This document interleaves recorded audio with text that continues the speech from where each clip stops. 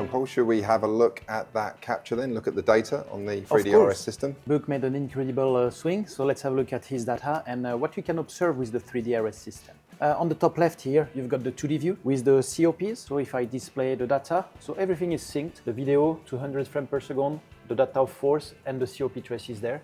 So lead foot in blue or left foot in blue, right foot in, uh, in red and, uh, and yellow combined. And here you see the traces with the distribution, shift distribution here, weight. And then that one we can have as a as the 3D as well. Absolutely. If you just switch there, uh, you got the 3D view. So I'll come back to the beginning of the swing. Of course, the 3D view allows you to get any angle of view, okay, which is quite cool. Zoom in, zoom out, you can see from any angle and uh, from uh, any places you want. So sometimes it helps for the people to really feel in live what's happening, to Yes. get the better angle of view, to get the feel with the, what you, you're looking for. And once again, it's displayed. As usual, you see we've got negative torque in black, so the circle in the middle, Yes. okay, uh, meaning that the player is turning away from the target, and the vectors are pointing in all the directions.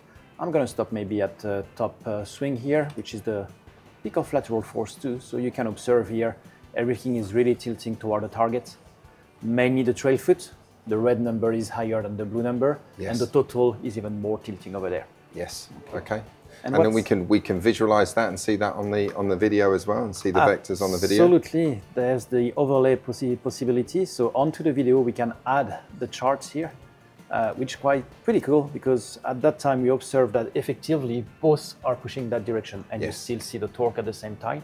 Uh, white torque this time, uh, bright torque, meaning that this, it's starting to be positive torque to- toward the target. Let's go to the peak of torque because that's the next view. Uh, the peak of torque, uh, we display the graph here in the different way. The peak of torque is here. We've got a kinetic sequence. We can we can customize the way you want to display the curves. Yeah. So you ask me that uh, is it possible to get the kinetic sequence, the lateral force, left, right, total. On this graph, uh, we want to get the torque, which is the horizontal rotational force, and you wanted to link that with The AP forces individual feet. the AP yeah? force. You see how much forces are pushing in opposite direction. Exactly, they are yeah. directly linked. So same here. Uh, you've got a big torque, the peak of torque, biggest circle, Yep. and we can combine here with here, so you can See really see that you're pushing toward that direction and that direction at the same time. Once again, the magnitude are here. So 27% lead leg, only 10% trail leg. That's maybe something we can Okay. work with book Yep. Okay. uh, to increase his AP force, specifically this shape here, which is not a big peak. So it could be a bit, bit more aggressive with the trail leg. And the numbers here then, so we're looking at usually threshold, looking at around 80 for that one, right? 85, 80, 90, 85, yeah. absolutely. So definitely is not optimizing the torque. Okay. Uh, we've got the thresholds here. You see in orange area, that's the threshold. So we see that for this one, the vertical force is above the threshold. For the lateral force is just below the threshold, and yeah. here uh, it would be displayed just at top. So effectively, that's a force you should customize. Okay. Let's move to the vertical peak. So this is his main power stream.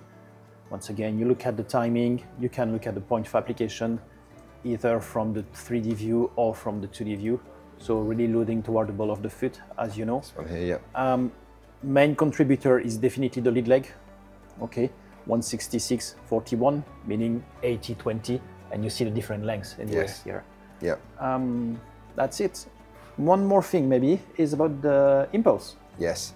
because impulse is the quantity of motion. So it's good to get a high peak of force, but uh, impulse is interesting. So same here, there's the possibility to customize your graph and you can add the impulse markers and then you can set the impulse on the one you want. Here it's only settled on the vertical force and onto the lateral force, but if you want to make it on any graphs, you can customize it. So here we've got the negative impulse in blue, meaning moving away from the target or lower in your weight.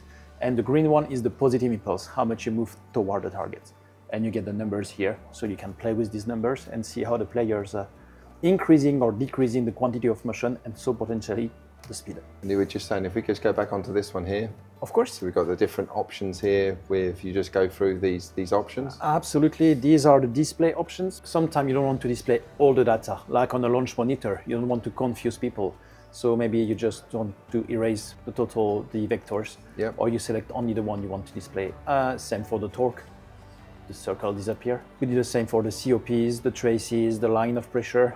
Uh, line of pressure is the one linking uh, the blue and trail foot together, so we can display or not display it. You can change the grid as well, no grid or get a green grid. Uh, it's quite good for when you do uh, integration. Uh, display the force plate differently as well, no force plate.